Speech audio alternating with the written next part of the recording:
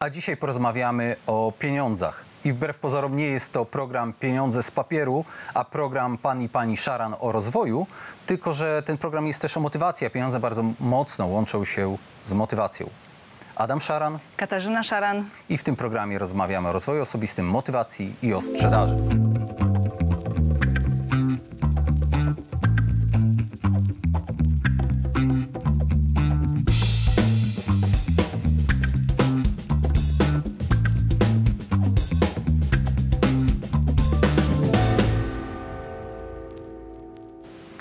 Właśnie, to czy pieniądze rzeczywiście motywują?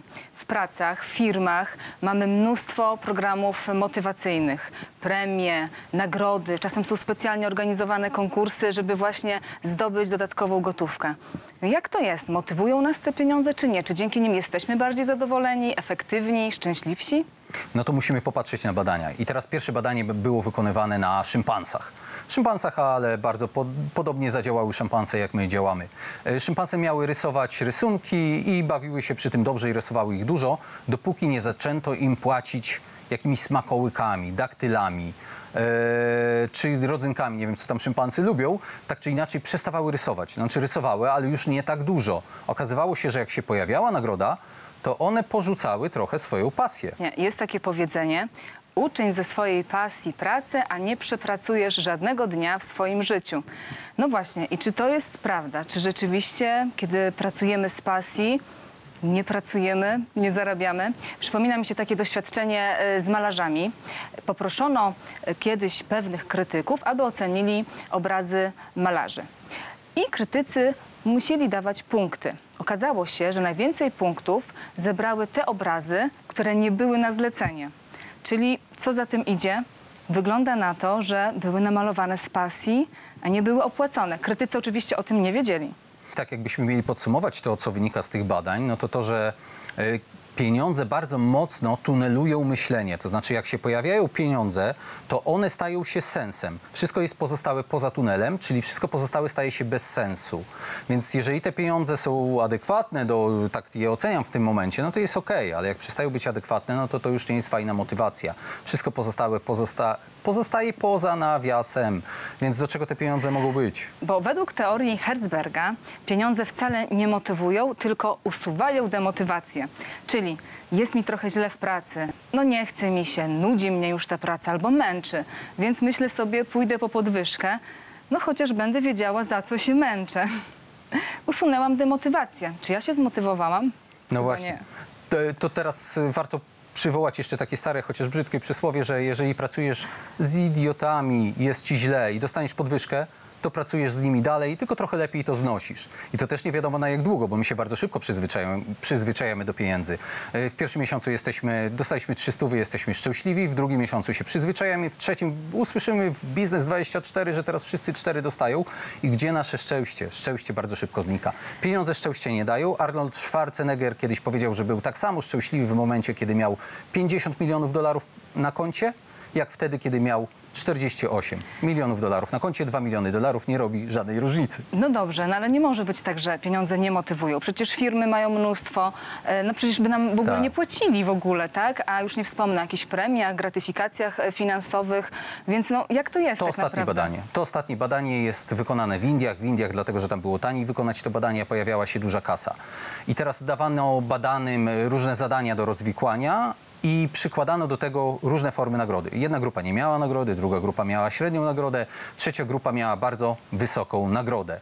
No i mieli wykonywać e, zadanie, no i bardzo prosty wniosek się pojawił. Pojawił się taki wniosek, że za zadania, które są mechaniczne, proste, powtarzalne, trzeba płacić, motywować pieniędzmi. Zapłacę ci za to, że przerzucisz tonę węgla. No wiadomo, no to przerzucam, dostanę pieniądze. Ale jeżeli pojawia się praca, której trzeba użyć kreatywności, jakiegoś pomysłu, lepiej nie zachęcać pieniędzmi, a co najwyżej nagrodzić tą osobę dopiero później, czyli w taki sposób niezapowiedziany. po prostu, kiedy pojawiała się duża nagroda, no to o wiele gorzej wykonywali badani swoje prace, mniej efektywnie. E, no bo nagroda tuneluje myślenie i ona bardzo dekoncentruje.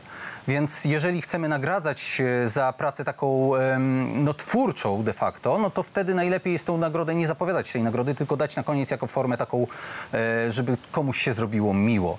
Więc drodzy Państwo, finalizując, chciałbym powiedzieć, że e, powinniśmy szukać co nas, e, tego, co nas cieszy w pracy, koncentrować się na tym, co nam, e, jak się rozwijamy w pracy, szukać sobie tego typu rzeczy, bo same pieniądze nie sprawią, że będziemy zmotywowani.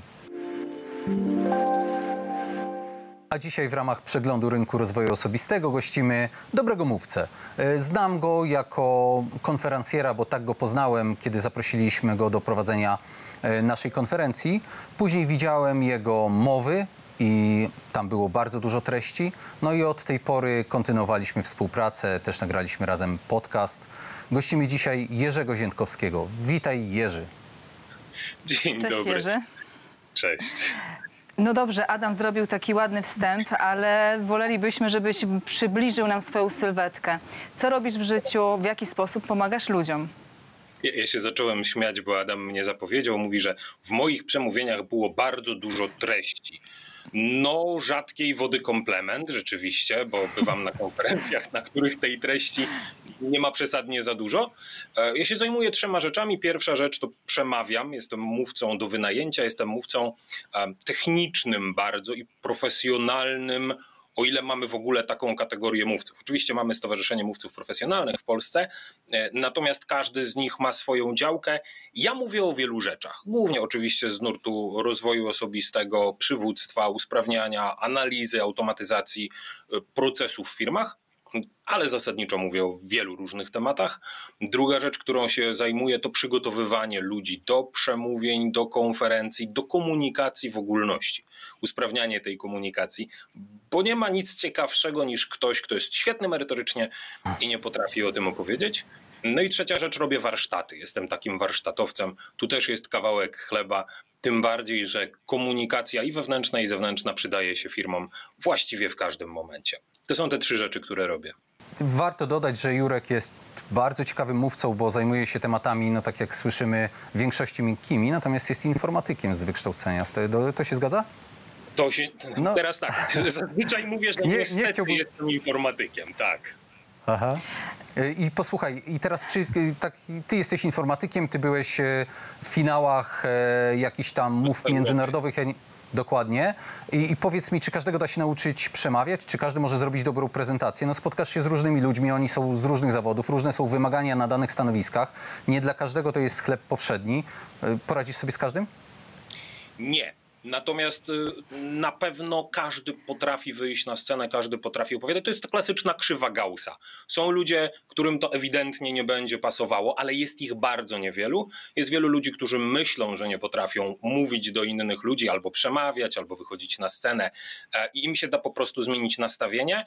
I są ludzie, którzy jeszcze nie potrafią przemawiać i tych trzeba technicznie nauczyć, w jaki sposób rozmawiać z innymi ludźmi. E, I to jeden na jeden, i konferencyjnie. Natomiast nie spotkałem się z dokładnością do dwóch, może trzech przypadków. Nie spotkałem się na mojej drodze z ludźmi, którzy rzeczywiście nie powinni wychodzić na scenę. Nie tylko nie chcą, nie potrafią, ale nie powinni wychodzić na scenę. A bardzo często to są po prostu trudne przypadki w normalnym życiu.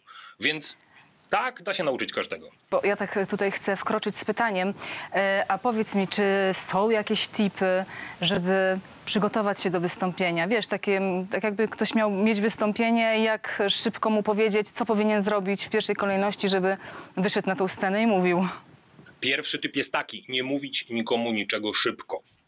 E, Zacząć dużo, dużo wcześniej, zanim się okaże, że pojutrze mamy prezentację przed zarządem, czy za dwa dni musimy jechać e, do klienta.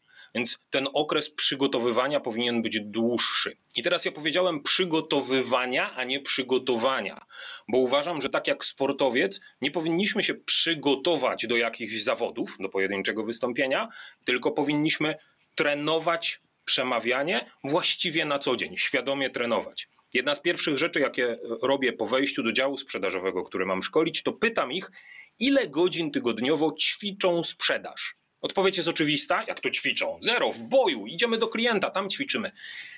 Nie. Najlepszym tipem, jaki mogę sprzedać komukolwiek, jest wygospodaruj sobie w życiu miejsce na ćwiczenie komunikacji, ćwiczenie przemawiania w warunkach, które nic cię nie kosztują. Jak tam polegniesz, nic się nie wydarzy, a możesz przećwiczyć, czy jesteś skuteczny. To jest pierwszy tip. Drugi tip z trzech. Drugi tip jest bardzo prosty. Twoje zdenerwowanie nie ma żadnego znaczenia. Ja się teraz strasznie denerwuję. Ja jestem sparaliżowany właściwie tym, że mówię publicznie. Jest, to nie jest kwestia wiary, to jest kwestia rozumienia, że mam umiejętności, które przykrywają to zdenerwowanie. Natomiast moje doświadczenie i moje analizy pokazują, że to, że ktoś się denerwuje, właściwie nie ma bezpośredniego, a i bardzo mały pośredni wpływ na skuteczność jego prezentacji. Więc można mm, odpuścić sobie zdenerwowanie. Chyba i, będziemy e, musieli y, przerwać tutaj w tym Tak. momencie. I jeżeli Państwo chcą usłyszeć, jaki jest trzeci tip, no to chyba pozostaje tylko i wyłącznie znaleźć Jurka na jego stronie internetowej, zapisać się na webinar, bo wiem, że organizujesz. Podaj stronę internetową jeszcze na koniec. Wejdź na LinkedIn na mój profil. Ziętkowski.pl to strona, natomiast na LinkedInie, na moim profilu jest mój najbliższy webinar ze storytellingu. Będę opowiadał o fajnych narzędziach do zgromadzenia Bardzo historii, które można opowiadać. Dobrze, to Dziękujemy bardzo Ci ci dziękujemy bardzo. za tę rozmowę, to była przyjemność. Do zobaczenia.